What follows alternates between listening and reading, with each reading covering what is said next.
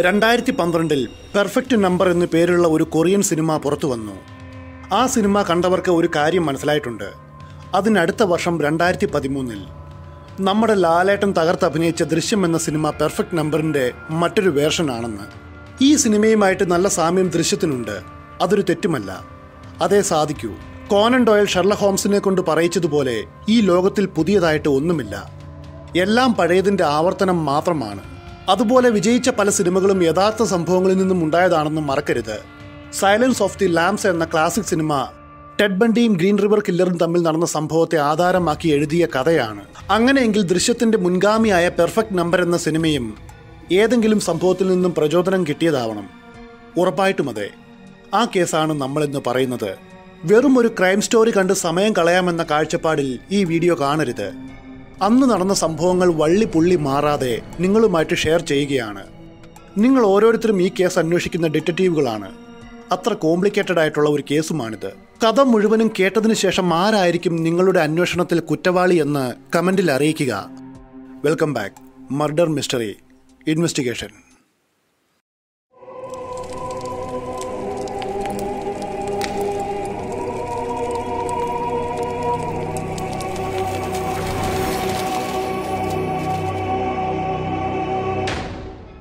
ഇംഗ്ലണ്ടിലുള്ള Liverpool നഗരത്തിലെ Wolverton തെരുവ് ആ തെരുവിന്റെ ഇരുവശത്തും നിരനിരയായിട്ട് വീടുകളാണ്.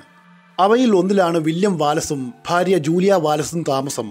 പ്രൊഡൻഷ്യൽ ഇൻഷുറൻസ് കമ്പനിയിലെ ഒരു ഏജന്റാണ് അൻപത്തിരണ്ട് വയസ്സുള്ള വാലസ്. ബിസിനസിന്റെ എളുപ്പത്തിന് വേണ്ടിയിട്ടാണ് അയാൾ ഇവിടെ വീട് വാടകയ്ക്ക് എടുത്തിരിക്കുന്നത്. നഗരത്തിൽ പലയിടത്തും വാലസിന് കക്ഷികളുണ്ട്.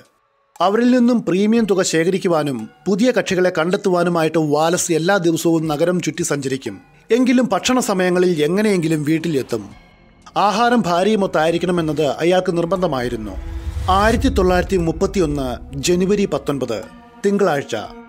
കലശലായിട്ടുള്ള ഫ്ലൂ ബാധയെ തുടർന്ന് കുറേ ദിവസങ്ങളായിട്ട് വാലസ് വീടിന് പുറത്തേക്കുള്ള യാത്രകൾ നിർത്തിവെച്ചിരിക്കുകയാണ്. ഇന്ന് ഏറെക്കുറെ സുഖമായിട്ടുണ്ട്.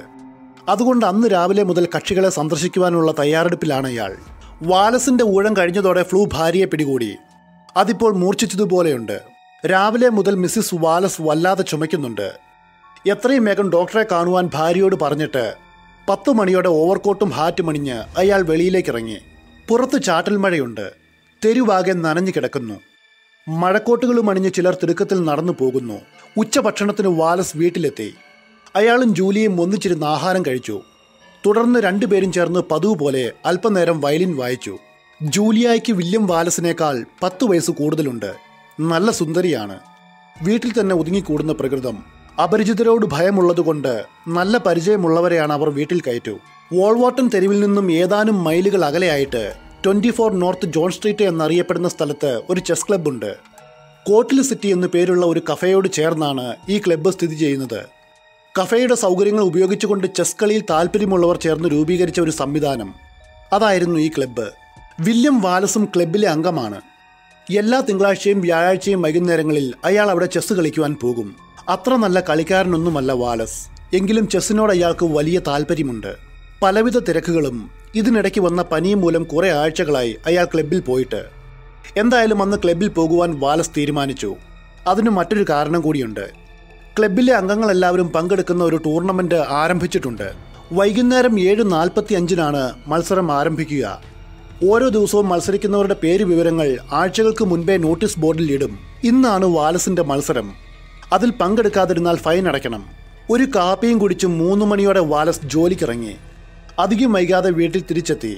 ക്ലബിലെ ടൂർണമെന്റിനെ പറ്റി അയാൾ ജോലിയോട് പറഞ്ഞു. രാത്രിയിൽ താൻ എത്തുവാൻ അല്പം താമസിക്കുമെന്നും പറഞ്ഞു.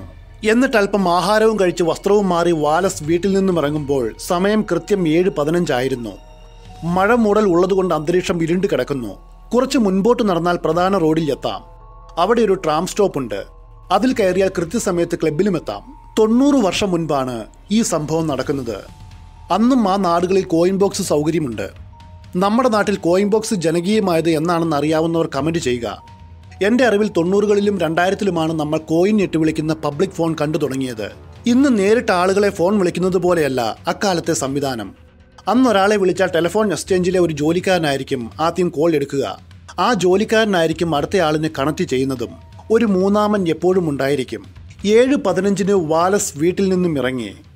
കൃത്യം ഏഴ് ഇരുപതായപ്പോൾ നഗരത്തിലെ Richmond Terrace telephone exchange operator Louisa ആൽഫ്രഡിന്റെ മുൻപിലുള്ള ഫോൺ റിംഗ് ചെയ്തു. അവൾ ഫോൺ എടുത്തു. മറുതലയ്ക്കൽ ഒരു പുരുഷനാണ്. ത്രീ ഫൈവ് എയ്റ്റ് വൺ എന്ന നമ്പറിലേക്ക് തന്റെ കോൾ കണക്ട് ചെയ്യുവാൻ അയാൾ ആവശ്യപ്പെട്ടു. ലൂയിസ ആ നമ്പറിലേക്ക് കണക്ട് ചെയ്തതും കോൾ പെട്ടെന്ന് കട്ടായി. അല്പസമയത്തിനകം അയാൾ വീണ്ടും വിളിച്ചു. ഇത്തവണ ലൂയിസയുടെ അടുത്തിരുന്ന ഓപ്പറേറ്റർ ലിലിയൻ മാർത്ത ആണ് ഫോൺ എടുത്തത്. ത്രീ ഫൈവ് എയ്റ്റ് വൺ എന്ന നമ്പറിലേക്ക് കണക്ട് ചെയ്യുവാൻ ആ ശബ്ദം വീണ്ടും ആവശ്യപ്പെട്ടു. താൻ തൊട്ടു മുൻപ് വിളിച്ച ആളാണെന്നും കണക്ഷൻ കിട്ടും മുൻപേ കോൾ കട്ടായതുകൊണ്ട് കോയിൻ ബോക്സിൽ നിക്ഷേപിച്ച പണം നഷ്ടമായെന്നും അയാൾ പറഞ്ഞു. മാർത്ത ഇക്കാര്യം അടുത്തിരുന്ന ലൂയിസയോടും പറഞ്ഞു. എന്നാൽ ലൂയിസയ്ക്ക് മനസ്സിലായി. അയാൾ ആദ്യ കോൾ കണക്റ്റ് ആകും മുൻപ് മനഃപൂർവം കോൾ കട്ടാക്കിയതാണെന്ന് അങ്ങനെ ചെയ്യുമ്പോൾ ബോക്സിൽ നിക്ഷേപിച്ച നാണയം പുറത്തേക്ക് വരും. സൗജന്യമായിട്ടൊരു കോൾ നേടുവാനുള്ള തന്ത്രമാകണം അയാളുടെ. ഉടനെ മാർത്ത അയാൾ വിളിക്കുന്ന ബൂത്തിന്റെ നമ്പർ ഒരു നോട്ട്ബുക്കിൽ എഴുതി വെച്ചു. വൺ സിക്സ് ടു സെവൻ അതായിരുന്നു ബൂത്തിന്റെ നമ്പർ ഒപ്പം കണക്ട് ചെയ്യുവാൻ ആവശ്യപ്പെട്ട നമ്പരും വിളിച്ച സമയവും എഴുതി വെച്ചു. തുടർന്ന് അയാൾ ആവശ്യപ്പെട്ട ത്രീ ഫൈവ് എയ്റ്റ് വൺ എന്ന നമ്പറിലേക്ക് കോൾ കണക്ട് ചെയ്തു. ചെസ് കളി നടക്കുന്ന കോട്ടിൽ സിറ്റി കഫേയുടെ നമ്പറിലേക്കാണ് അയാൾ വിളിച്ചത്. സിറ്റി കഫയിലെ ജോലിക്കാരി ഗ്ലാഡിസ് ഹാർലി ഫോൺ എടുത്തു. മിസ്റ്റർ വാലസ് അവിടെയുണ്ടോ എന്നാണ് അയാൾ ചോദിച്ചത്. അതോടെ ചെസ് ക്ലബിലേക്കാണ് ഫോൺ വന്നതെന്ന് ഗ്ലാഡിസിന് മനസ്സിലായി. ഒന്ന് ഹോൾഡ് ചെയ്യുവാൻ പറഞ്ഞിട്ട് അവൾ ചെസ് ക്ലബിൽ പോയിട്ട് വാലസിന് ഒരു കോൾ വന്നിട്ടുണ്ട് എന്ന് അറിയിച്ചു വാലസ് അതുവരെയും ക്ലബിൽ എത്തിയിട്ടില്ല. ക്ലബിന്റെ ക്യാപ്റ്റനായ സാമുവൽ ബിയാറ്റി വന്ന് ഫോൺ എടുത്തു. Mister Wallace അവിടെയുണ്ടോ?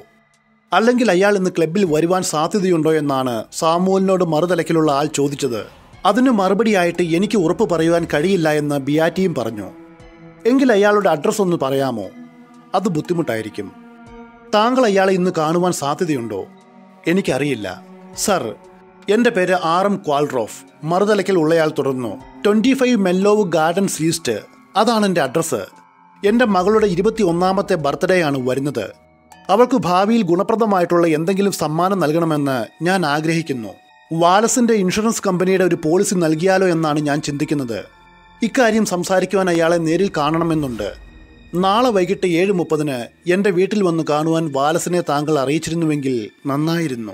വാലസ് വരുമ്പോൾ ഇക്കാര്യം താൻ അറിയിക്കാമെന്നും പറഞ്ഞ് ബിയാറ്റി ഫോൺ വെച്ചു. നല്ല പിരിമുറുക്കമുള്ള ഒരു കളിക്കിടയിൽ നിന്നുമാണ് ബിയാറ്റി ഫോൺ അറ്റൻഡ് ചെയ്യുവാൻ വന്നത്. അയാൾ വേഗം ചെസ് ബോർഡിനരികിലേക്ക് ഓടി. അവിടെ അപ്പോഴേക്കും വാലസ് എത്തിയിട്ടുണ്ടായിരുന്നു. ബിയാറ്റി വാലസിനോട് നിങ്ങളെ ഒരു കോൾ കോൾഡ്രോഫ് വിളിച്ചിരുന്നു വാലസ്. അയാൾ നിങ്ങൾക്കൊരു ബിസിനസ് തരുവാൻ ആഗ്രഹിക്കുന്നു. നാളെ ഏഴ് മുപ്പതിന് അയാളെ വീട്ടിൽ പോയി കാണണം. അഡ്രസ് തന്നിട്ടുണ്ട് എന്ന് പറഞ്ഞു. ക്വാൾഡ്രോഫ് അങ്ങനെ ഒരാളെ പറ്റി ഞാൻ കേട്ടിട്ടില്ലല്ലോ എന്ന് വാലസും പറഞ്ഞു. രാത്രി പത്ത് മണിക്കാണ് അന്നത്തെ മത്സരങ്ങൾ അവസാനിച്ചത്. അത്ഭുതം എന്താണെന്ന് വെച്ചാൽ മത്സരത്തിൽ വാലസ് ജയിച്ചു എന്നതാണ്. അയാൾക്ക് പോലും അത് വിശ്വസിക്കുവാൻ കഴിഞ്ഞില്ല. ലോകം വെട്ടിപ്പിടിച്ച സന്തോഷമായിരുന്നു കക്ഷിക്ക്. വീട്ടിലെത്തുമ്പോൾ ജൂലി അയാളെ കാത്തിരിപ്പുണ്ടായിരുന്നു. പനിയുടെയും ചുമയുടെയും കടുത്ത ക്ഷീണം അവരുടെ മുഖത്തുണ്ടായിരുന്നു. ഭക്ഷണം കഴിച്ചിട്ട് ഇരുവരും ഉറങ്ങുവാൻ കിടന്നു. ജനുവരി ഇരുപത് ചൊവ്വാഴ്ച. വാലസ് പതിവ് പോലെ രാവിലെ പത്ത് മണിക്ക് വീട്ടിൽ നിന്നും പുറപ്പെട്ടു. മാസത്തിലെ അവസാന ആഴ്ച എന്ന നിലയിൽ ഏറെ ജോലികൾ ബാക്കിയുണ്ട്. പനി മൂലം ലീവ് എടുത്ത ദിവസങ്ങളിലെ ജോലി കൂടി പൂർത്തിയാക്കണം. ബ്രെക് റോഡ് ട്രാം സ്റ്റോപ്പിൽ നിന്നും ക്ലബ്ബുമൂർ എന്ന സ്ഥലത്തേക്കുള്ള ട്രാമിൽ വാലസ് കയറി. വീട്ടിലെപ്പോൾ ജൂലിയ തനിച്ചായിരുന്നു. രാവിലെ പതിനൊന്ന് മുപ്പതോടെ ഒരു ബെൽ കേട്ടു. വാതിൽ തുറന്നപ്പോൾ ആർദർ ഹോയർ എന്നയാൾ പുറത്തു നിൽക്കുന്നു. ഒരു ബക്കറ്റ് ചൂടുവെള്ളം ആർദർ ചോദിച്ചു. തെരുവിലെ വീടുകളുടെ ജനാലകൾ വൃത്തിയാക്കലാണ് ആർദറിന്റെയും ഭാര്യ എമിലിയുടെയും ജോലി. ജൂലിയക്ക് അയാളെ നല്ല പരിചയമുണ്ട്. അതുകൊണ്ട് ചൂടുവെള്ളം എടുത്തു കൊടുത്തു. വെള്ളവുമായിട്ട് ആർദർ പോയി. ഉച്ചയോടെ വാലസ് പതിവ് പോലെ ഭക്ഷണത്തിനായിട്ട് വീട്ടിലെത്തി. പിന്നെ വീണ്ടും ക്ലബ് മൂറിലേക്ക് പോയി. ഈ നേരത്ത് ജൂലിയുടെ നാത്തു നാമി വാലസ് അവിടെ എത്തി. വില്യം വാലസിന്റെ ചേട്ടനായ ജോസഫ് വാലസിന്റെ ഭാര്യയാണ് ആമി. ജോസഫ് വാലസ് ഇന്ത്യയിലാണ് ജോലി ചെയ്യുന്നത്. വർഷത്തിൽ ഒരിക്കലാണ് വീട്ടിലെത്തൂ. ജൂലിയായും ആമിയും ഏറെ നേരം സംസാരിച്ചിരുന്നു. നാല് മുപ്പതിന് ആമി തിരികെ പോയി. അല്പം കഴിഞ്ഞപ്പോൾ വീടിന്റെ പിൻവാതിലിൽ കൂടി പുറത്തു വന്ന ജൂലിയായെ അയൽക്കാരായിട്ടുള്ള ജോൺ ജോൺസ്റ്റണും അയാളുടെ ഭാര്യയും കണ്ടു. കുറച്ചു നേരം അവർ കുശലം പറഞ്ഞു. വൈകിട്ട് ആറ് അഞ്ചോടെ വാലസ് തിരികെ വീട്ടിലെത്തി. അധികം നേരം തങ്ങുവാൻ സമയമില്ല. ഏഴ് മുപ്പതിന് മെല്ലോ ഗാർഡനിൽ എത്തിയിട്ട് കഴിഞ്ഞ ദിവസം ഫോൺ വിളിച്ച മിസ്റ്റർ ക്വാൾറോഫിനെ കാണുവാൻ പോകണം. ഇൻഷുറൻസ് സംബന്ധമായിട്ടുള്ള കുറച്ച് പേപ്പറുകളും എടുത്തുകൊണ്ട് വാലസ് വീട്ടിൽ നിന്നും ഇറങ്ങുമ്പോൾ സമയം കൃത്യം ആറ് നാൽപ്പത്തിയഞ്ചായിരുന്നു. പിൻവശത്തെ വാതിൽ വഴിയാണ് വാലസ് പുറത്തേക്ക് ഇറങ്ങിയത് ഇരുട്ട് വീണു തുടങ്ങിയിട്ടുണ്ട്. എന്നാൽ മഴ പെയ്യുന്ന ലക്ഷണം ഒന്നുമില്ല. ഗേറ്റ് വരെ ജൂലി അയാളെ അനുഗമിച്ചു. അതിനുശേഷം അത് പൂട്ടിയിട്ട് അകത്തേക്ക് പോയി. ഏതാണ്ട് അര കിലോമീറ്റർ നടന്നാൽ സെന്റ് മാർഗരേറ്റ് ചർച്ചിന്റെ സമീപത്ത് വരും. അവിടെ വെച്ച് വാലസ് ഒരു ട്രാമിൽ കയറി. പിന്നെ രണ്ട് ട്രാമുകൾ കൂടി മാറി മാറി കയറി ഏഴ് ഇരുപതായപ്പോൾ പെന്നി ലൈൻ റൗണ്ട് എബൌട്ട് എന്ന സ്ഥലത്ത് എത്തി. അവിടെയാണ് ക്വാൾറോഫ് പറഞ്ഞ twenty five Menlove Gardens East എന്ന സ്ഥലമുള്ളത്. നഗരത്തിലെ ഈ ഭാഗം വാലസിന് അത്ര പരിചയമില്ല. കുറേ ദൂരം മുൻപോട്ട് പോയിട്ടും ആ അഡ്രസ് കണ്ടെത്തുവാനുമായില്ല. ഒടുവിൽ തെരുവിൽ കണ്ട ഒരു സ്ത്രീയോട് വാലസ് താൻ തിരിയുന്ന അഡ്രസ്സിനെ കുറിച്ച് അന്വേഷിച്ചു. അപ്പോഴാണ് താനിപ്പോൾ നടക്കുന്നത് മെല്ലോവ് അവന്യൂവിൽ കൂടിയാണെന്ന് അവരിൽ നിന്നും മനസ്സിലായത്. എന്നാൽ മെല്ലോവ് ഈസ്റ്റ് എന്ന സ്ഥലം എവിടെയാണെന്ന് അവർക്കും അറിയില്ല. വാലസ് തിരിച്ചു നടന്നു. പിന്നെ എത്തിയത് മെല്ലോവ് നോർത്തിലായിരുന്നു. വീണ്ടും തിരിച്ചു നടന്നു. ഇത്തവണ അയാൾ വഴിക്കിരുവശവുമുള്ള ഓരോ വീട്ടു നമ്പരും ശ്രദ്ധിച്ചു. എല്ലാം ഇരട്ട സംഖ്യകൾ മാത്രം. Twenty twenty two twenty four twenty six തുടങ്ങിയവ. ട്വന്റി ഫൈവ് എന്ന സംഖ്യ ഒരിടത്തുമില്ല. വഴിയിൽ വെച്ച് കണ്ട ഒരു പയ്യനെ പിടിച്ചു നിർത്തിയിട്ട് വാലസ് ചോദിച്ചു. അവൻ ഈ സ്ഥലം മെല്ലോവ് സൗത്ത് ആണെന്നും മെല്ലോവ് ഈസ്റ്റ് എന്ന സ്ഥലത്തെക്കുറിച്ച് കേട്ടിട്ടില്ലെന്നും പറഞ്ഞു. ചിലപ്പോൾ ആ ഭാഗത്തായിരിക്കാമെന്ന് പറഞ്ഞുകൊണ്ട് ഒരു വശത്തേക്ക് കൈ ചൂണ്ടി വാലസ് നേരെ അങ്ങോട്ടേക്ക് നടന്നു. കുറച്ചുകൂടി പോയപ്പോൾ ട്വന്റി ഫൈവ് എന്ന വീട്ടു നമ്പറുള്ള വീട് അയാൾ കണ്ടെത്തി. വാലസ് ആശ്വാസത്തോടെ അതിന്റെ വാതിൽക്കിലെത്തി ബെല്ലടിച്ചു. ഒരു സ്ത്രീ വാതിൽ തുറന്നു. മിസ്റ്റർ ക്വാൾഡ്രോഫിന്റെ വീടല്ലേ ഇത്? ഒരു അപ്പോയിൻമെന്റ് ഉണ്ടായിരുന്നുവെന്ന് വാലസ് പറഞ്ഞു. അല്ല ഇത് റിച്ചാർഡ് മാത്തറുടെ വീടാണെന്ന് വാതിൽ തുറന്ന സ്ത്രീ പറഞ്ഞു. ഞാനിവിടെ ഒരു ആർ എം വീട് അന്വേഷിച്ചു നടക്കുകയാണ്. അങ്ങനെ ഒരാൾ അടുത്തെവിടെയെങ്കിലും താമസിക്കുന്നുണ്ടോ എന്ന് വാലസ് അവരോട് ചോദിച്ചു. അവരുടെ അറിവിൽ ക്വാൾഡ്രോഫ് എന്നു പേരുള്ള ഒരാൾ ആ പരിസരത്തെങ്ങും ഇല്ലായിരുന്നു. അവസാനം വാലസ് അവരോട് ഇത് മെല്ലോവ് ഈസ്റ്റ് അല്ലേ എന്ന് ചോദിച്ചു. അല്ല മെല്ലോവ് വെസ്റ്റ് ആണെന്ന് മറുപടിയും കിട്ടി. വാലസ് പുറത്തേക്കിറങ്ങി. പിന്നെയും അരമണിക്കൂറോളം അഡ്രസ്സും തിരക്കി അവിടെ മാകെ ചുറ്റി നടന്നു. അവസാനം വശം കെട്ട അടുത്തുള്ള ഒരു ജംഗ്ഷനിലേക്ക് നടന്നു. അവിടെ വെച്ചയാൾ ഒരു പോലീസുകാരനെ കണ്ടു. താൻ അന്വേഷിക്കുന്ന അഡ്രസ്സിനെ പറ്റി ആ പോലീസുകാരനോട് തിരക്കി. ഈ പോലീസുകാരനെ പ്രത്യേകം ഓർത്തു വെച്ചോണം. നമുക്ക് പിന്നീട് ആവശ്യം വരും. ട്വന്റി ഫൈവ് മെല്ലോവ് ഈസ്റ്റ് എന്നൊരു അഡ്രസ്സ് ഇവിടെ ഇല്ല. പോലീസുകാരൻ ഉറപ്പിച്ചു പറഞ്ഞു. വാലസ് അതിശയിച്ചു പോയി. Menlove South North West Avenue ഇവയെല്ലാം ഉണ്ട് എന്നാൽ ഈസ്റ്റ് മാത്രമില്ല. ചെസ് ക്ലബിലെ ക്യാപ്റ്റൻ ബിയാറ്റി അഡ്രസ്സ് എഴുതിയെടുത്തപ്പോൾ തെറ്റുപറ്റിയതായിരിക്കുമോ? അയാൾ പിന്നെ ഓർത്തു. ഒരു ടെലിഫോൺ ഡയറക്ടറി സംഘടിപ്പിച്ച് അതിൽ നോക്കിയ കോൾഡ്രോഫിന്റെ അഡ്രസ് കിട്ടും. അടുത്ത് കണ്ട പോസ്റ്റ് ഓഫീസിൽ എത്തിയിട്ട് ടെലിഫോൺ ഡയറക്ടറി ഉണ്ടോ എന്ന് തിരക്കി. അവിടെ ഇല്ലായിരുന്നു. അതിന് തൊട്ടടുത്തായിട്ട് രണ്ട് സ്ത്രീകൾ നടത്തുന്ന ഒരു ന്യൂസ് ഏജൻസി ഷോപ്പുണ്ട്. അവിടെ നിന്നും ഒരു ഡയറക്ടറി കിട്ടി. പക്ഷേ അതിൽ ആറും ക്വാൾഡ്രോഫ് എന്ന പേര് മാത്രം ഉണ്ടായിരുന്നില്ല. മാത്രവുമല്ല മെല്ലോവ് ഈസ്റ്റ എന്ന പേരിൽ ഒരു സ്ഥലം അവിടെ ഇല്ല എന്നും സ്ത്രീകൾ വാലസിനെ അറിയിച്ചു. സമയം അപ്പോൾ എട്ട് മണിയായിരുന്നു. ആകെ കുഴങ്ങിയ വാലസ് നിരാശയോടെ തിരിച്ചു നടന്നു. എട്ട് പത്തിന്റെ ട്രാമിൽ കയറി അയാൾ വന്ന റൂട്ടിൽ തന്നെ വീട്ടിലേക്ക് മടങ്ങി. രാത്രി എട്ടേമുക്കാലായപ്പോൾ രണ്ടു മണിക്കൂർ നീണ്ട വിഫലമായ യാത്രയ്ക്ക് ശേഷം വില്യം വാലസ് വീട്ടിൽ തിരിച്ചെത്തി. പുറത്ത് വെളിച്ചമൊന്നുമില്ല. വീട് നിശബ്ദമാണ്. തന്റെ താക്കോൽ ഉപയോഗിച്ച് ഇയാൾ മുൻവശത്തെ കഥക് തുറക്കുവാൻ ശ്രമിച്ചു. താക്കോൽ തിരിഞ്ഞെങ്കിലും വാതിൽ തുറന്നില്ല. അകത്തു നിന്നും തഴുതയിട്ടിരിക്കുന്നു കഥകിൽ തട്ടി അയാൾ ഭാര്യയെ വിളിച്ചു. മറുപടിയൊന്നും വന്നില്ല. തുടർന്ന് വീടിന്റെ പിൻഭാഗത്തേക്ക് പോയി. ആ കഥകും അടച്ചിട്ടിരിക്കുന്നു വീടിന്റെ ഉള്ളിൽ നിന്നും നേരിയ വെളിച്ചം ജനാലയിൽ വീഴുന്നുണ്ട്. താക്കോലിട്ട് തിരിച്ചെങ്കിലും പിൻവാതിലും തുറന്നില്ല. അകത്തു നിന്നും യാതൊരു മറുപടിയും വരുന്നില്ല. അതോടെ പരിഭ്രാന്തനായ വാലസ് അയൽവക്കത്തുള്ള ജോൺസ്റ്റൺ ദമ്പതികളുടെ വീട്ടിലേക്ക് കയറി ചെന്നു. തന്റെ വീട് അകത്തു നിന്നും ആരോ പൂട്ടിയിട്ടിരിക്കുന്നു എന്നും ജൂലിയായെ വിളിച്ചിട്ട് യാതൊരു മറുപടിയുമില്ലെന്നും അയാൾ അവരോട് പറഞ്ഞു. തങ്ങൾ കൂടി വരാമെന്നും ഒന്നുകൂടി ശ്രമിച്ചു നോക്കാമെന്നും ജോൺസ്റ്റൺ പറഞ്ഞു. അല്ലെങ്കിൽ തന്റെ കയ്യിലുള്ള താക്കോൽ ഉപയോഗിച്ച് നോക്കാമെന്നും അയാൾ പറഞ്ഞു. ഇംഗ്ലണ്ടിലെ അക്കാലത്തെ രീതി അനുസരിച്ച് വീടിന്റെ ഒരു താക്കോൽ അയൽക്കാരുടെ പക്കൽ ഏൽപ്പിക്കാറുണ്ട്. എന്തായാലും ജോൺസ്റ്റണും ഭാര്യയും വാലസിനൊപ്പം ഇറങ്ങിച്ചെന്നു. വീണ്ടും പിൻവശത്ത് എത്തിയിട്ട് വാതിൽ തുറക്കുവാൻ വാലസ് ഒരിക്കൽ കൂടി ശ്രമിച്ചു. അത്ഭുതമെന്നോണം ഇക്കുറി അത് തുറന്നു. അല്പം മുൻപ് വാതിൽ തുറക്കുവാൻ നോക്കിയിട്ട് വാലസ് പരാജയപ്പെട്ടതാണെന്ന് മറക്കരുത്. ഞാൻ ആദ്യം അകത്തൊന്ന് നോക്കട്ടെ എന്ന് പറഞ്ഞുകൊണ്ട് വേവലാതിയോടെ വാലസ് കയറിപ്പോയി. ജോൺസ്റ്റണും ഭാര്യയും പുറത്തെ അരണ്ട വെളിച്ചത്തിൽ കാത്തുനിന്നു പെട്ടെന്ന് അകത്തു നിന്നും ഒരു നിലവിളി കേട്ടു. പിന്നെ അവർ കണ്ടത് ജൂലിയായ ആരോ കൊന്നേ എന്ന് പറഞ്ഞുകൊണ്ട് വാലസ് അലറിക്കൊണ്ട് പുറത്തേക്ക് ഓടി വരുന്നതാണ്. പേടിച്ചു പോയ ജോൺസ്റ്റണും ഭാര്യയും വീടിന്റെ അകത്തേക്ക് ഓടി. അവിടെ ജൂലിയ വാലസ് കമിഴ്ന്നു കിടക്കുന്നു. ചുറ്റിലും രക്തപ്രളയം. കനത്ത എന്തോ ആയുധം കൊണ്ടുള്ള അടിയേറ്റ് തല തകർന്നിട്ടുണ്ട്. ജൂലിയയുടെ ശരീരത്തിന്റെ അടിയിലായിട്ട് ഒരു മഴക്കോട്ട് കിടപ്പുണ്ട്. അതിലും രക്തം തളം കെട്ടിക്കിടക്കുന്നു ഭീകരമായിരുന്നു ആ കാഴ്ച. വാലസ് തല കറങ്ങി നിലത്തേക്കിരുന്നു. ആദ്യമൊന്ന് പകച്ചു പോയെങ്കിലും ജോൺസ്റ്റൺ സമനില വീണ്ടെടുത്തു. ഒന്നിലും സ്പർശിക്കരുത് എന്ന് അയാൾ ഭാര്യ ഫ്ലോറൻസിനോടും വാലസിനോടും പറഞ്ഞു. അവരോട് അവിടെ തന്നെ ഇരിക്കുവാൻ പറഞ്ഞിട്ട് അയാൾ പോലീസിനെയും ഡോക്ടറെയും വിവരം അറിയിക്കുവാനായിട്ട് വേഗം പുറത്തേക്ക് ഓടി. കൊലപാതകം നടന്ന വീട്ടിലെ അടുക്കളയിൽ അന്നിറങ്ങിയ ലിവർപൂൾ എക്കോ എന്ന അന്തിപത്രം നിവർത്തിവെച്ച നിലയിൽ കിടപ്പുണ്ട്. ഒരു അലമാരയുടെ വാതിലുകൾ വെട്ടിപ്പൊളിച്ച നിലയിൽ തറയിൽ കിടക്കുന്നു. ഇതിന്റെ ഉള്ളിലായിരുന്നു വാലസ് തന്റെ ദിവസ കളക്ഷൻ സൂക്ഷിച്ചിരുന്നത്. അയാൾ വേഗം ചെന്ന് അതിൽ വെച്ചിരുന്ന പണം സൂക്ഷിക്കുന്ന ഒരു ചെറിയ ബോക്സ് പരിശോധിച്ചു. ഒരു പൗണ്ടിന്റെ നാല് നോട്ടുകൾ നഷ്ടപ്പെട്ടിട്ടുണ്ട്. എന്നാൽ അടുക്കളയിലെ ഒരു മേശമേൽ ജൂലിയയുടെ ഹാൻഡ് ബാഗ് ഇരിപ്പുണ്ട്. അതിൽ അക്രമി തൊട്ടിട്ട് പോലുമില്ല. അതിലുണ്ടായിരുന്ന പണവും അല്പം വെള്ളിയും അവിടെ തന്നെയുണ്ട്. വാളസ് ഫ്ലോറൻസിനെയും കൂട്ടി വീടിന്റെ മുകൾ നിലയിലേക്ക് പോയി. അവിടെ അയാളുടെ റൂമിൽ മറ്റൊരു ബോക്സിന്റെ ഉള്ളിൽ കുറച്ച് പണം സൂക്ഷിച്ചിരുന്നു. അതും അവിടെ തന്നെയുണ്ട്. ഇതേ സമയം പുറത്തേക്ക് പോയ ജോൺസ്റ്റൺ ലോവർ ബ്രേക്ക് റോഡിലേക്ക് നടന്നു. അവിടെ താമസിക്കുന്ന ഡോക്ടർ ഡൺലപ്പിനെ വിവരം അറിയിച്ചു. എത്രയും പെട്ടെന്ന് പോലീസ് സ്റ്റേഷനിൽ വിവരം അറിയിക്കുവാൻ അദ്ദേഹം നിർദ്ദേശിച്ചു. സമയം രാത്രി ഒൻപത് പത്തായപ്പോൾ പോലീസ് കോൺസ്റ്റബിൾ ഫ്രെഡ് വില്യംസ് വാലസിന്റെ വീട്ടിലെത്തി. ജൂലിയ കിടക്കുന്ന ലോഞ്ചിലേക്ക് അവർ അയാളെ കൊണ്ടുപോയി. പോകുന്ന വഴിയിൽ തനിക്ക് ഇതിനെപ്പറ്റി ഒന്നും അറിയില്ല എന്നും വീട് തുറന്ന് അകത്ത് കയറിയപ്പോൾ കണ്ട കാഴ്ച ഇതായിരുന്നു എന്നും വാലസ് പറഞ്ഞു. കോൺസ്റ്റബിൾ ഫ്രെഡ് വില്യംസ് ബോഡി കിടക്കുന്നതിന്റെ സമീപത്ത് എത്തി. മുട്ടിന്മേൽ ഇരുന്നിട്ട് അയാൾ ജൂലിയയുടെ പൾസ് നോക്കി. ഒന്നുമില്ല. എന്നാൽ ശരീരത്തിൽ നിന്നും ചൂട് പൂർണമായിട്ടും വിട്ടു മാറിയിരുന്നുമില്ല. തുടർന്ന് അയാൾ സംഭവത്തെക്കുറിച്ച് വാലസിനോട് അന്വേഷിച്ചു. അതോടൊപ്പം വീട് മുഴുവനുമായിട്ടും പരിശോധനയും നടത്തി.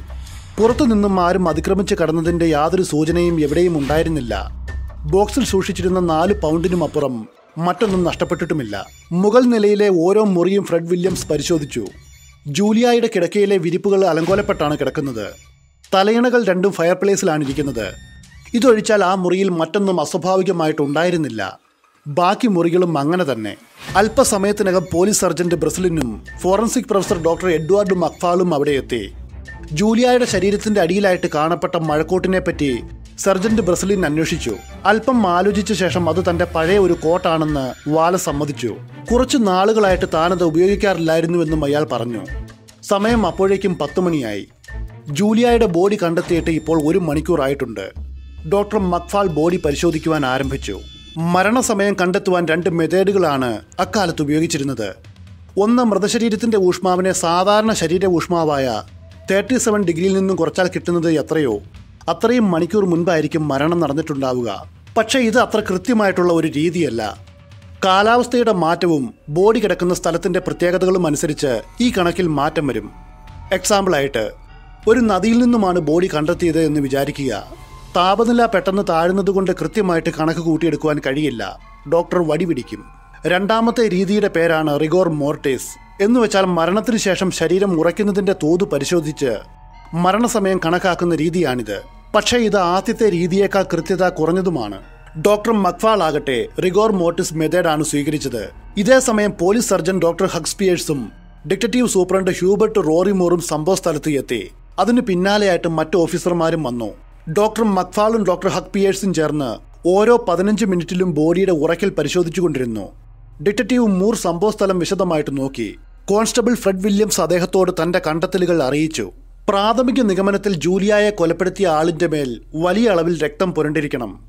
കാരണം അത്രയും വലിയ രക്തപ്രവാഹമാണ് അവിടെ ഉണ്ടായിരുന്നത്. ഡിറ്റക്റ്റീവ് മൂർ വാലസിനെ ചോദ്യം ചെയ്യുവാൻ ആരംഭിച്ചു.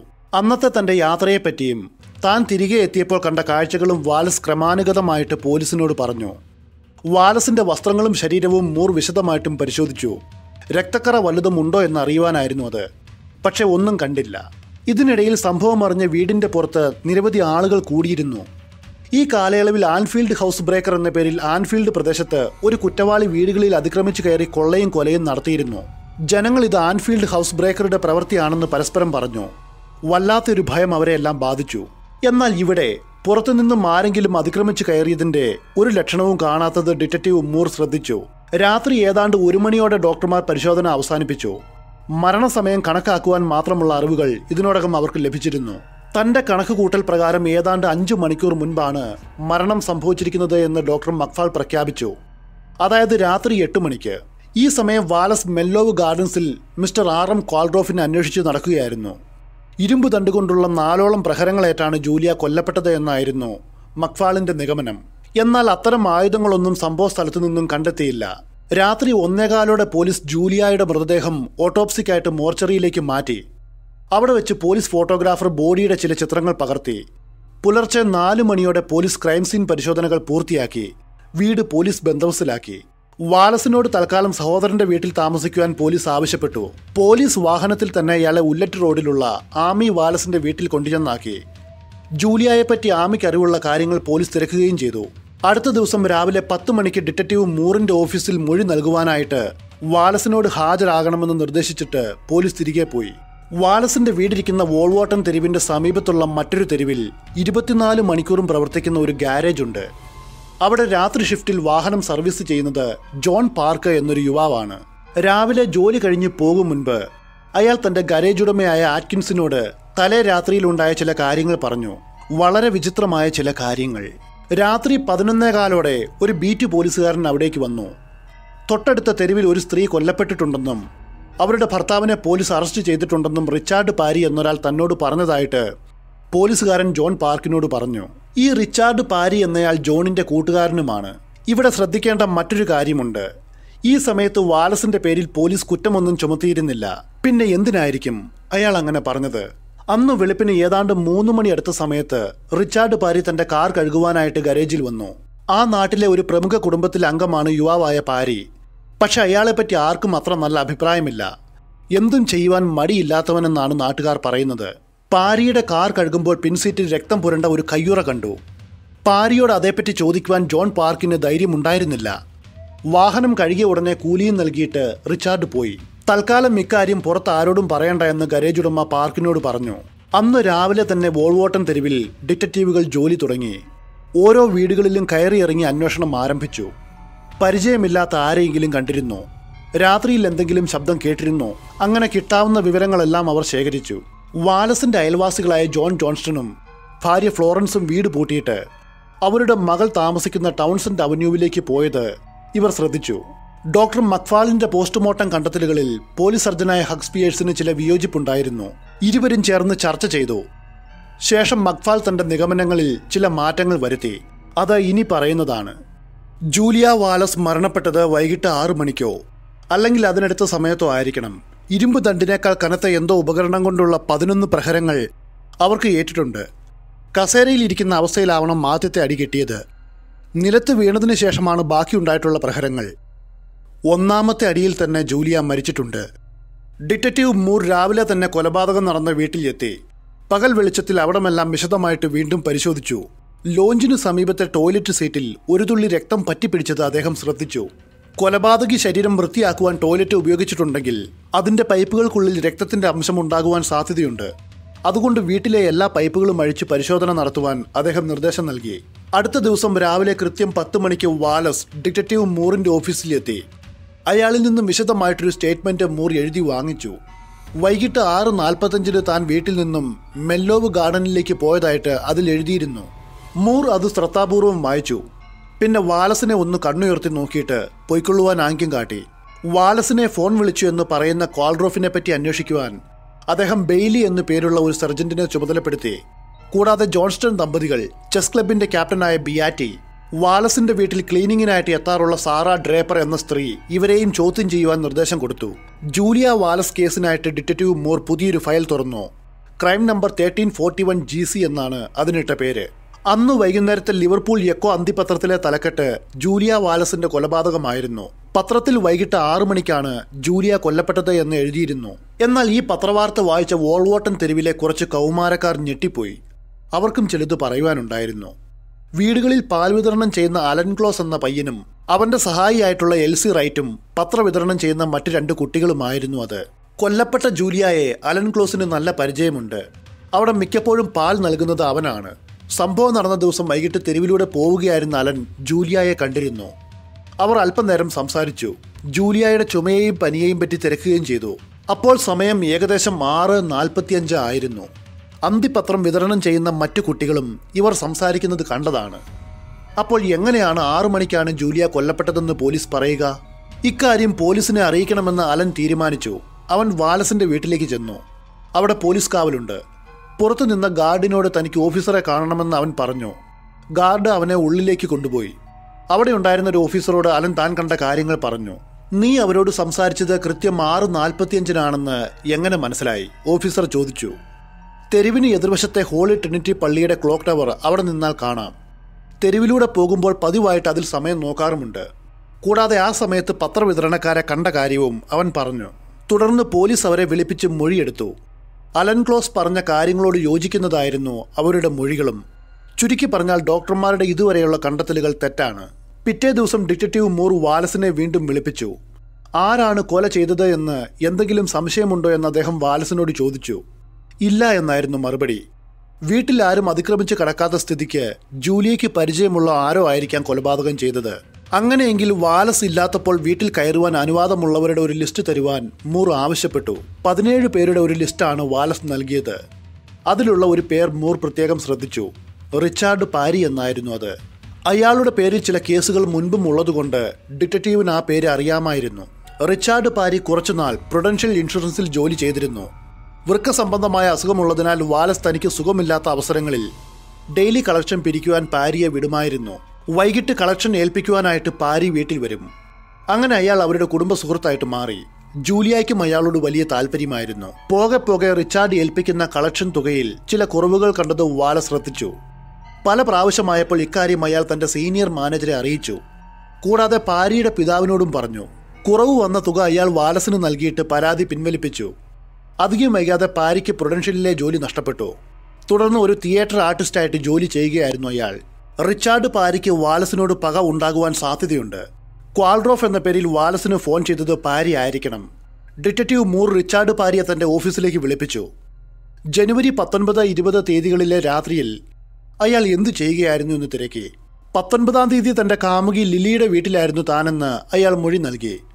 ഇരുപതാം തീയതി വൈകിട്ട് അഞ്ച് മുപ്പത് വരെ ജോലി സ്ഥലത്തായിരുന്നു. അവിടെ നിന്ന് ഫോർട്ടി ത്രീ നോക്ലറ്റ് റോഡിലുള്ള മിസ്സിസ് ഒലിവിയ ആൽബർട്ടയുടെ വീട്ടിലേക്ക് പോയി. എന്നിട്ട് രാത്രി എട്ട് മുപ്പത് വരെ അവിടെ തങ്ങിയിട്ട് ഒൻപത് മണിയോടെ കാമുകിയായ ലില്ലിയെ ജോലി സ്ഥലത്ത് നിന്നും തന്റെ കാറിൽ തന്നെ വീട്ടിൽ എത്തിച്ചു. രാത്രി പതിനൊന്ന് മണി വരെ അവളുടെ വീട്ടിൽ സംസാരിച്ചിരുന്നു. അത് കഴിഞ്ഞ് സ്വന്തം വീട്ടിലേക്ക് പോയി. ഇതായിരുന്നു റിച്ചാർഡ് കൊടുത്ത മൊഴി. പോലീസ് പാരി നൽകിയ മൊഴിയെപ്പറ്റി അന്വേഷിച്ചു. ഒൻപത് മണിയോടെ തന്നെ വീട്ടിൽ എത്തിച്ച കാര്യം കാമുകയും ഏകദേശം ഒൻപത് മണിക്ക് ശേഷം അയാൾ വീട്ടിൽ എത്തിയതായിട്ട് അവളുടെ അമ്മയും പറഞ്ഞു. ഇതോടെ റിച്ചാർഡ് പാരി സംശയിക്കപ്പെടുന്നവരുടെ പട്ടികയിൽ നിന്നും ഒഴിവായിരിക്കുന്നു. കാരണം ജൂലിയ കൊല്ലപ്പെട്ട സമയത്ത് താൻ മറ്റൊരിടത്തായിരുന്നുവെന്ന് അയാൾ തെളിവ് നൽകി കഴിഞ്ഞു. ഇരുപത്തിരണ്ടാം തീയതി വ്യാഴാഴ്ച മൊഴി നൽകിയിട്ട് ഡിറ്റക്റ്റീവ് മൂറിന്റെ ഓഫീസിൽ നിന്നും വാലസ് പുറത്തിറങ്ങുമ്പോൾ രാത്രി പത്ത് പതിനഞ്ചായിരുന്നു. അയാൾ വെളിയിൽ ഇറങ്ങിയ പാടെ മൂർ ഒരു സി ഐ ഡിയെ വിളിച്ചിട്ട് അയാളെ പിന്തുടരുവാൻ നിർദ്ദേശിച്ചു. വാലസ് അറിയാതെ സി ഐ ഡി സിവിൽ ഡ്രസ്സിൽ വാലസിന്റെ പിന്നാലെ കൂടി. ഇതേ സമയം കുറച്ചു മാറി ചെസ് ക്ലബ്ബ് ക്യാപ്റ്റനായ ബിയാറ്റിയും മറ്റു ചിലരും കൂടി വാലസിനെ കാണുവാനായിട്ട് കാത്തു നിൽപ്പുണ്ടായിരുന്നു. അയാൾക്ക് സംഭവിച്ച ദുരന്തത്തിൽ അവർക്കെല്ലാം സങ്കടമുണ്ട്. ഒരു ട്രാം സ്റ്റോപ്പിൽ വെച്ച് അവർ കണ്ടുമുട്ടി. അവർ തമ്മിലുള്ള സംഭാഷണം സി ഐ ഡി ശ്രദ്ധിച്ചു. മിസ്റ്റർ ബിയാറ്റി ആ ക്വാൾഡ്രോഫിന്റെ കോൾ എപ്പോഴാണ് വന്നത് എന്ന് താങ്കൾക്ക് കൃത്യമായിട്ടുള്ള ഓർമ്മയുണ്ടോ? വാലസ് ആകാംക്ഷയോടെ ചോദിച്ചു. ഏഴ് മണി അല്ലെങ്കിൽ ഏഴ് കഴിഞ്ഞ ഉടൻ അതാണ് എന്റെ ഓർമ്മ ബിയാറ്റി പറഞ്ഞു. നിങ്ങൾ കോൾ എടുക്കുമ്പോൾ ഒപ്പം ആരെങ്കിലും ഉണ്ടായിരുന്നോ? എങ്കിൽ സമയം ഒന്നുകൂടി ഉറപ്പിക്കാമായിരുന്നു. ഏഴു മണിയാണെങ്കിൽ കുഴപ്പമില്ല. എന്തൊക്കെയാണ് സംഭവിക്കുന്നത് എന്ന് എനിക്കും അറിയില്ല. പോലീസിന് എന്നെ സംശയമില്ലെന്നാണ് തോന്നുന്നത്. മിസ്റ്റർ വാലസ് നിങ്ങൾ ഇക്കാര്യങ്ങളൊന്നും മറ്റാരോടും സംസാരിക്കാതിരിക്കുന്നതാണ് നല്ലത്. പോലീസ് ചോദിക്കുന്നതിന് മാത്രം മറുപടി നൽകിയാൽ മതി. ബിയാറ്റി അയാളെ ഉപദേശിച്ചു. തൊട്ടടുത്ത് നിൽക്കുന്ന സി ഐ ഡി ഇതെല്ലാം കേൾക്കുന്നുണ്ടായിരുന്നു. അല്പസമയം കൂടി സംസാരിച്ച ശേഷം വാലസ് അവരോട് യാത്ര പറഞ്ഞ് അടുത്ത ട്രാമിൽ കയറി ആമയുടെ വീട്ടിലേക്ക് യാത്രയായി. Detective Moore surgeon Bailey superintendent Gold എന്നിവർക്ക് സി ഐ ഡിയുടെ റിപ്പോർട്ട് എത്തി. ടെലിഫോൺ കോൾ വന്ന സമയം മാറ്റി പറയുവാൻ ക്യാപ്റ്റൻ ബിയാറ്റിയെ സ്വാധീനിക്കുവാൻ വാല ശ്രമിച്ചു എന്നതായിരുന്നു അതിന്റെ രത്നച്ചുരുക്കം. പോലീസ് ടെലിഫോൺ എക്സ്ചേഞ്ചിൽ നിന്നും ക്വാൾഡ്രോഫ് എന്നയാൾ ഫോൺ ചെയ്തതിനെക്കുറിച്ച് എന്തെങ്കിലും വിവരം കിട്ടുമോ എന്ന് അന്വേഷിച്ചു. കിട്ടുവാൻ യാതൊരു സാധ്യതയുമില്ല. എന്നാൽ പോലീസിനെ അത്ഭുതപ്പെടുത്തിക്കൊണ്ട് ആ കോൾ വന്ന സമയവും വിളിച്ച ബൂത്തിന്റെ നമ്പരും ഓപ്പറേറ്റർ ലിലിയൻ മാർത്തായുടെ ബുക്കിൽ ഉണ്ടായിരുന്നു. Booth number one six two സെവനിൽ നിന്നും ജനുവരി പത്തൊൻപതിന് വൈകിട്ട് ഏഴ് ഇരുപതിനാണ് ആ കോൾ വന്നിരിക്കുന്നത്. ഡിറ്റക്റ്റീവ് മൂർ വാലസിന്റെ മൊഴി വായിച്ചു നോക്കി. അതിൽ ജനുവരി പത്തൊൻപതിന് വൈകുന്നേരം ഏഴ് പതിനഞ്ചിനാണ് അയാൾ വീട്ടിൽ നിന്നും ഇറങ്ങിയത്. Booth number one six two seven locate ചെയ്തപ്പോൾ അത് വാലസിന്റെ വീട്ടിൽ നിന്നും വെറും നാനൂറ് വാര ഏകദേശം ആയിരത്തി മുന്നൂറ് അടി അകലെയാണെന്ന് മനസ്സിലായി. ഇരുപത്തിനാലാം തീയതി ശനിയാഴ്ച ജൂലിയ വാലസിന്റെ മൃതദേഹം ആൻഫീൽഡ് സെമിത്തേരിയിൽ അടക്കം ചെയ്തു. വാലസും മാമിയും സുഹൃത്തുക്കളും അടക്കം നിരവധി ആളുകൾ അതിൽ പങ്കെടുത്തു. അന്ന് വൈകുന്നേരം മിസ്റ്റർ ഹാൾ എന്നു പേരുള്ള ഒരാൾ ഡിറ്റക്റ്റീവ് മൂറിന്റെ ഓഫീസിൽ എത്തുകയാണ്. അയാളുടെ മകൾ ലില്ലി ഹാൾ എന്ന യുവതി എഴുതിയ ഒരു കത്ത് മിസ്റ്റർ ഹാൾ മൂറിനെ ഏൽപ്പിച്ചു. ആകാംക്ഷയോടെ മൂർ കത്ത് തുറന്നു. അതിലുള്ളതും മറ്റൊരു നിർണായക വിവരമായിരുന്നു. ജൂലിയ കൊല്ലപ്പെട്ട രാത്രിയിൽ എട്ട് മുപ്പത്തഞ്ചിന് തന്റെ വീടിന്റെ സമീപത്തുള്ള തെരുവിൽ വെച്ച് വാലസ്. നല്ല ഉയരമുള്ള ഒരാളോട് സംസാരിക്കുന്നത് താൻ കണ്ടു എന്നാണ് അതിലുണ്ടായിരുന്നത് മങ്ങിയ വെളിച്ചമായതിനാൽ അയാളുടെ മുഖം വ്യക്തമായിട്ടും കാണുവാനായില്ല. ഡിറ്റക്റ്റീവ് മൂർ പെട്ടെന്ന് ഒരു മീറ്റിംഗ് വിളിച്ചു ചേർത്തു. കേസിന്റെ ഇതുവരെയുള്ള പുരോഗതി അവർ വിലയിരുത്തി. പലരിൽ നിന്നുമായിട്ടും ശേഖരിച്ച വിവരങ്ങൾ എല്ലാം ചേർത്ത് വയ്ക്കുമ്പോൾ കേസിൽ സംശയിക്കപ്പെടാവുന്ന ഒരാളേ ഉള്ളൂ അത് വാലസാണ്. എന്തോ കാരണത്താൽ അയാൾ തന്റെ ഭാര്യയെ കൊലപ്പെടുത്തുവാൻ തീരുമാനിക്കുന്നു. കൊലപാതക സമയത്ത് താൻ മറ്റൊരിടത്തായിരുന്നു എന്ന അലിബി സൃഷ്ടിക്കുന്നു. ദൃശ്യം ഓർമ്മ വരുന്നുണ്ടോ? കൊലപാതകം നടന്നതിന്റെ തലേ ദിവസം ഏഴ് പതിനഞ്ചിന് വീട്ടിൽ നിന്നും ഇറങ്ങിയ അയാൾ നാനൂറ് വാര അകലെയുള്ള കോയിൻ ബൂത്തിൽ എത്തുന്നു. തന്റെ കോൾ ടെലിഫോൺ ഓപ്പറേറ്ററുടെ ശ്രദ്ധയിൽപ്പെടുവാൻ ആദ്യ കോൾ കട്ടാക്കിയ ശേഷം വീണ്ടും വിളിച്ച് അവരോട് സംസാരിക്കുന്നു. പക്ഷേ അവർ കോൾ സമയം കുറിച്ചു വയ്ക്കുമെന്ന് വാലസ് ഓർത്തില്ല. ജൂലിയ കൊല്ലപ്പെട്ട ദിവസം വൈകിട്ട് ആറ് നാൽപ്പത്തഞ്ച് കഴിഞ്ഞപ്പോൾ പാൽക്കാരൻ പയ്യൻ അലങ്ക്ലോസ് ജൂലിയായ ജീവനോടെ കണ്ടിട്ടുണ്ട്. ലോഞ്ചിൽ ഇരിക്കുകയായിരുന്ന ജൂലിയായ പിന്നിലൂടെ വന്ന വാലസ് ഇരുമ്പ് വടിക്ക് അടിച്ചു വീഴ്ത്തി. മരണം ഉറപ്പാക്കുവാൻ വീണ്ടും വീണ്ടും പ്രഹരിച്ചു. അതിനുശേഷം വസ്ത്രം മാറി ട്രാം സ്റ്റോപ്പിലെത്തി. അവിടെ നിന്നും ട്രാമിൽ കയറി മെൻലോവ് ഗാർഡനിലേക്ക് പോകുന്നു. ഈ യാത്രയിൽ ബോധപൂർവം വഴി അറിയുവാനെന്ന പോലെ ട്രാം കണ്ടക്ടറോട് പലവട്ടം സംസാരിക്കുന്നു. തുടർന്ന് മെല്ലോവ് ഗാർഡനിൽ എത്തിയ വാലസ് നിലവിൽ ഇല്ലാത്ത അഡ്രസ്സായി ഈസ്റ്റ് അന്വേഷിച്ച് ഏറെ നേരം നടക്കുന്നു. ജൂലിയ കൊല്ലപ്പെട്ട സമയം താൻ അവിടെ ആയിരുന്നു എന്ന അലിബി സൃഷ്ടിക്കുവാനായിട്ട് ഒരു പോലീസുകാരനുമായിട്ട് ബോധപൂർവം സംസാരിക്കുന്നു. പിന്നീട് വീട്ടിലെത്തിയ വാലസ് ജൂലിയയുടെ ബോഡി കണ്ടെത്തുന്നതിന് ദൃക്സാക്ഷികളെ സൃഷ്ടിക്കുവാനായിട്ട് ജോൺസ്റ്റൺ ദമ്പതികളെ വിളിച്ചു വരുത്തിയിട്ട് നാടകം കളിക്കുന്നു. വീട്ടിൽ പലയിടത്തായിട്ട് പണവും മറ്റ് വസ്തുക്കളും ഉണ്ടായിരുന്നിട്ടും കബ്ബോർഡിലെ ഒരു ബോക്സിലുള്ള നാല് പൗണ്ട് മാത്രമാണ് മോഷണം പോയത്. മേശമേൽ ഇരുന്ന ജൂലിയായുടെ ഹാൻഡ് ബാഗിൽ ഒന്ന് തൊട്ടിട്ട് പോലുമില്ല. വീട്ടിൽ ആരും അതിക്രമിച്ച് കയറിയതിന്റെ ലക്ഷണം ഇല്ലായിരുന്നു എന്നതും വീട് പൂട്ടിക്കിടന്നു എന്നതും പുറമേ നിന്നും ഒരാൾ അവിടെ വന്നിട്ടില്ല എന്നതിന്റെ തെളിവാണ്. മറ്റൊരു സാധ്യത ഇതാണ്. ജൂലിയായെ കൊലപ്പെടുത്തുവാൻ വാലസ് ആരെയെങ്കിലും ഏർപ്പെടുത്തിയിരിക്കാം. അയാൾക്ക് വാലസ് വീടിന്റെ താക്കോൽ നൽകി കാണും. ആ ആളുമായി സംസാരിക്കുന്നതായിരിക്കണം ലില്ലി ഹാൾ കണ്ടത്. ഇതായിരുന്നു പോലീസ് എത്തിച്ചേർന്ന നിഗമനം. പക്ഷേ ഇതിൽ ചില പഴുതുകൾ ഉണ്ടായിരുന്നു. ആറ് നാൽപ്പത്തഞ്ചിന് ശേഷം തന്റെ ഭാര്യയെ കൊലപ്പെടുത്തിയിട്ട് വാലസിന് വസ്ത്രവും മാറിയിട്ട് അര കിലോമീറ്ററോളം അകലെയുള്ള ട്രാം സ്റ്റോപ്പിൽ എത്തിയിട്ട് ഏഴ് അഞ്ചിനുള്ള ട്രാമിന് പോകുവാൻ സമയം കിട്ടുമോ എന്നതായിരുന്നു ഒന്നാമത്തെ ചോദ്യം. രണ്ടാമതായിട്ട് ഇത്രയും മാരകമായിട്ട് ജൂലിയായെ വകവരുത്തുമ്പോൾ അവരുടെ രക്തം വാലസിന്റെ ശരീരത്തിലും വസ്ത്രത്തിലും ഉണ്ടാകേണ്ടതാണ്. പക്ഷെ അങ്ങനെയൊന്നും കണ്ടെത്തിയിട്ടില്ല. മാത്രവുമല്ല അങ്ങനെ രക്തം പുരണ്ടിരുന്നുവെങ്കിൽ അത് വൃത്തിയാക്കിയിട്ട് വസ്ത്രം മാറിയിട്ട് ഏഴഞ്ചിന്റെ ട്രാമിൽ പോകുവാൻ സമയം കിട്ടില്ല. ആദ്യത്തെ വിഷയം നടന്നു നോക്കി സോൾവ് ചെയ്യാമെന്ന് ഡിറ്റക്റ്റീവ് മൂർ നിർദ്ദേശിച്ചു.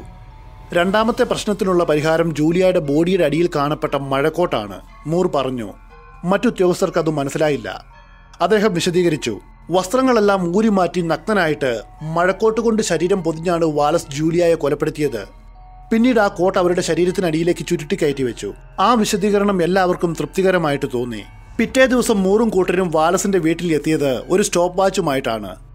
ചെറുപ്പക്കാരനായിട്ടുള്ള ഒരു പോലീസുകാരനോട് അര കിലോമീറ്റർ അകലെയുള്ള ട്രാം സ്റ്റോപ്പിലേക്ക് നടക്കുവാൻ നിർദ്ദേശിച്ചു. പലവട്ടം ആവർത്തിച്ച് ഈ പരീക്ഷണത്തിന്റെ ഒടുവിൽ കിട്ടിയ സമയം പത്ത് മിനിറ്റിൽ താഴെ എന്നായിരുന്നു.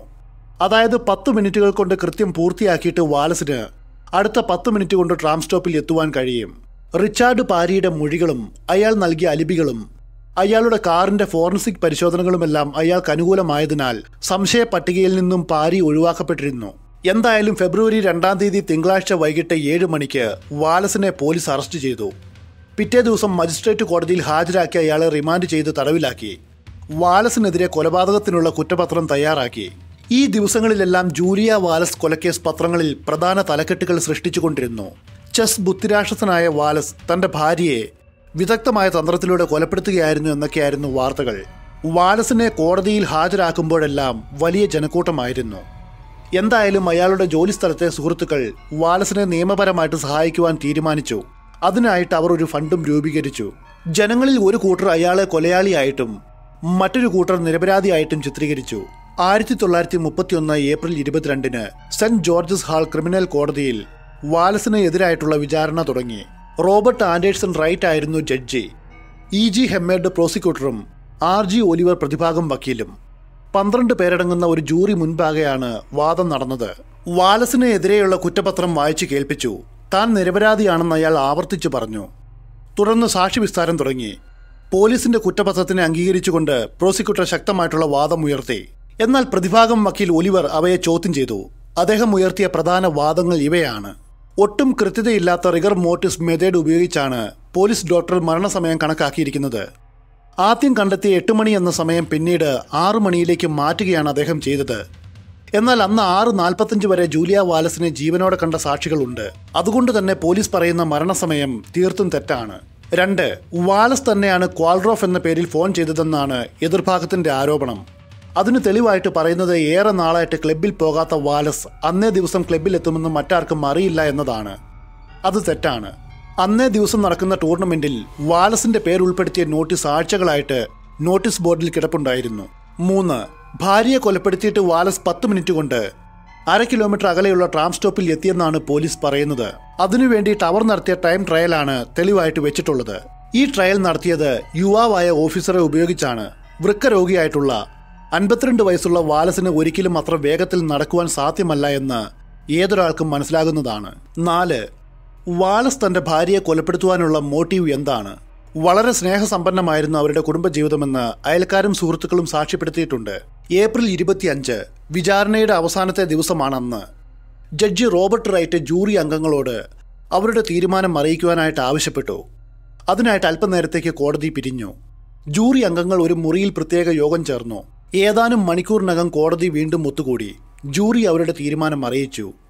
ജൂലിയ വാലസിന്റെ കൊലപാതകത്തിൽ ഭർത്താവ് വില്യം വാലസ് കുറ്റക്കാരനാണ്. നിങ്ങൾക്ക് എന്തെങ്കിലും പറയുവാനുണ്ടോ? ജഡ്ജി വാലസിനോട് ചോദിച്ചു. ഞാൻ നിരപരാധിയാണ്. അല്ലാതെ എനിക്ക് മറ്റെന്ത് പറയുവാനാവും? ജൂലിയയെ ഞാൻ സ്നേഹിച്ചിരുന്നു എന്ന് വാലസ് തൊണ്ട ഇടറി പറഞ്ഞു. ജൂറിയുടെ കണ്ടെത്തലുകളെ ജഡ്ജി അതേപടി സ്വീകരിച്ചു. അദ്ദേഹം വിധി പറഞ്ഞു. വില്യം വാലസിനെ തൂക്കിക്കൊല്ലുവാൻ വിധിക്കുന്നു. പോലീസ് വാലസിനെ ജയിലിലേക്ക് കൊണ്ടുപോയി. അവിടെ വധശിക്ഷ വിധിക്കപ്പെട്ടവർക്കുള്ള പ്രത്യേക സെല്ലിൽ അയാളെ അടച്ചു. ഇതിനിടെ വാലസിന്റെ സഹോദരനായ ജോസഫ് വാലസ് ഇന്ത്യയിൽ നിന്നും ഇംഗ്ലണ്ടിൽ എത്തിയിരുന്നു. അയാളും സുഹൃത്തുക്കളും മുൻകൈ എടുത്തിട്ട് ലണ്ടനിലെ മേൽക്കോടതിയിൽ ഒരു അപ്പീൽ സമർപ്പിച്ചു. രണ്ട് ദിവസത്തെ ആർഗ്യുമെന്റിന് ശേഷം മെയ് പത്തൊൻപതിന് വാലസിന്റെ അപ്പീൽ അംഗീകരിച്ചുകൊണ്ട് മേൽക്കോടതി അയാളെ വെറുതെ വിട്ടു. ഇത്രയും ദുർബലമായ തെളിവുകൾ വെച്ചുകൊണ്ട് ജൂറിയുടെ അഭിപ്രായത്തെ അതേപടി സ്വീകരിച്ച വിചാരണ കോടതിയെ അപ്പീൽ കോടതി ശക്തിയായിട്ട് വിമർശിച്ചു. സ്വതന്ത്രനാക്കപ്പെട്ട വാലസ് ലിവർപൂളിൽ തിരിച്ചെത്തി. വോൾവാട്ടൺ സ്ട്രീറ്റിലെ ആ വീട്ടിൽ താമസിച്ച് തന്റെ ജോലി തുടരുവാനാണ് അയാൾ തീരുമാനിച്ചത്. എന്നാൽ നാട്ടുകാരുടെ പ്രതികരണം വളരെ മോശമായിരുന്നു. എല്ലാവരും അയാളെ ഒറ്റപ്പെടുത്തുകയും കുത്തുവാക്കുകൾ പറയുകയും ചെയ്തു. ജൂൺ ആയപ്പോൾ ലിവർപൂൾ വിട്ട് വിരാൽ എന്ന സ്ഥലത്ത് ഒരു വീട് വാങ്ങി അങ്ങോട്ടേക്ക് അയാൾ താമസം മാറ്റി. അപ്പോഴേക്കും അയാളുടെ വൃക്കരോഗം വീണ്ടും തലപൊക്കി. മുപ്പത് വർഷം മുൻപ് അയാളുടെ ഒരു വൃക്ക നീക്കം ചെയ്തിരുന്നു. തനിക്ക് ഒരു പരിചാരികയെ ആവശ്യമുണ്ടെന്ന് കാണിച്ച് വാളസ് ഒരു പത്രപരസ്യം നൽകി. പക്ഷെ ആൾ വാരസാണെന്നറിയുമ്പോൾ എല്ലാവരും പിന്മാറുകയാണ് ഉണ്ടായത്. അവസാനം ആനി മേസൺ എന്നൊരു വൃത്ത ആ ചുമതല ഏറ്റെടുത്തു. ആയിരത്തി തൊള്ളായിരത്തി മുപ്പത്തി മൂന്ന് ഫെബ്രുവരി ഒൻപതിന് രോഗം മൂർച്ഛിച്ച വാലസിനെ ആശുപത്രിയിൽ പ്രവേശിപ്പിച്ചു. ഇരുപത്തിയാറാം തീയതി വെളുപ്പിന് മൂന്ന് മണിക്ക് വില്യം വാലസ് അന്തരിച്ചു. മാർച്ച് ഒന്നിന് ലിവർപൂളിലെ ആൻഫീൽഡ് സെമിത്തേരിയിൽ ജൂലിയ വാലസിന്റെ അതേ കല്ലറയിൽ തന്നെ വില്യം വാലസിനെയും അടക്കം ചെയ്തു. ഏതാനും പേർ മാത്രമാണ് ആ ചടങ്ങിൽ പങ്കെടുത്തത്. നാല് ചെറിയ റീത്തുകളാണ് ആകെ മൊത്തം സമർപ്പിക്കപ്പെട്ടത്. വാലസിന്റെ ആകെ സമ്പാദ്യത്തിൽ നിന്നും ആയിരത്തി അറുന്നൂറ്റി എഴുപത്തിരണ്ട് പൗണ്ട് സഹോദരൻ ജോസഫിനെ നീക്കിവെച്ചിരുന്നു നൂറ് പൗണ്ട് പരിചാരിക ആനി മേസണും. ആരാണ് ജൂലിയ വാലസിന്റെ യഥാർത്ഥ കൊലപാതകി എന്ന് അറിയുവാനുള്ള ആകാംക്ഷയിൽ പിൽക്കാലത്ത് പലരും പലവിധ അന്വേഷണങ്ങൾ നടത്തുകയുണ്ടായി. ധാരാളം പുസ്തകങ്ങളും ലേഖനങ്ങളും എഴുതപ്പെട്ടു. പലരും പല നിഗമനങ്ങളിലാണ് എത്തിച്ചേർന്നത്. അവയിൽ ചിലത് ഇതാണ്. ഒന്ന് റിച്ചാർഡ് പാരിയാവാം കൊലപാതകി. ജൂലിയയുമായിട്ട് നല്ല അടുപ്പമുണ്ടായിരുന്നു അയാൾക്ക്.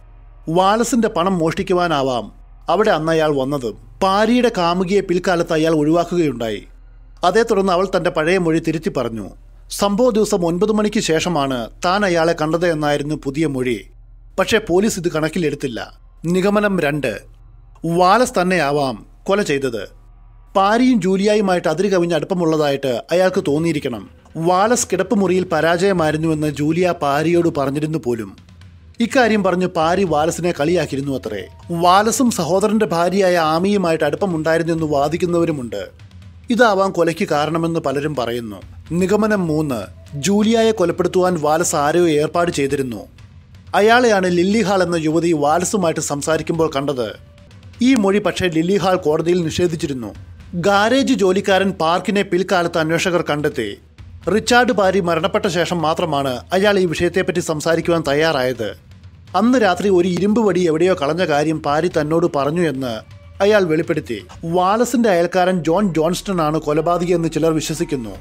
കൊലയുടെ തൊട്ടടുത്ത ദിവസം അയാളും ഭാര്യയും വീട് പൂട്ടി മകളുടെ വീട്ടിലേക്ക് പോയിരുന്നു. എന്തായാലും ഇന്നും ജൂലിയായുടെ ഘാതകനെ സംശയരഹിതമായിട്ട് കണ്ടെത്തുവാനായിട്ടില്ല. ഒരുപക്ഷെ രണ്ടു പേർക്ക് മാത്രമാകും അത് പറയുവാനാവുക. ജൂലിയായെ കൊന്നയാൾക്കും പിന്നെ ജൂലിയായിക്കും. ഇത് ഒരു അൺസോൾവ്ഡ് കേസാണ് ഒരു നൂറ്റാണ്ടായിട്ടും തെളിയാതെ കിടക്കുന്ന ഒരു മിസ്റ്ററി ഇതിലെ പോയിന്റുകളെല്ലാം നിങ്ങളിപ്പോൾ അറിഞ്ഞു കഴിഞ്ഞു. ജൂലിയ വാലസിനെ കൊലപ്പെടുത്തിയത് ആരായിരിക്കുമെന്നാണ് നിങ്ങൾ വിചാരിക്കുന്നത്. കമന്റ് ചെയ്യുക. മറ്റൊരു മർഡർ മിസ്റ്ററിയുമായിട്ട് ഉടൻ വരാം.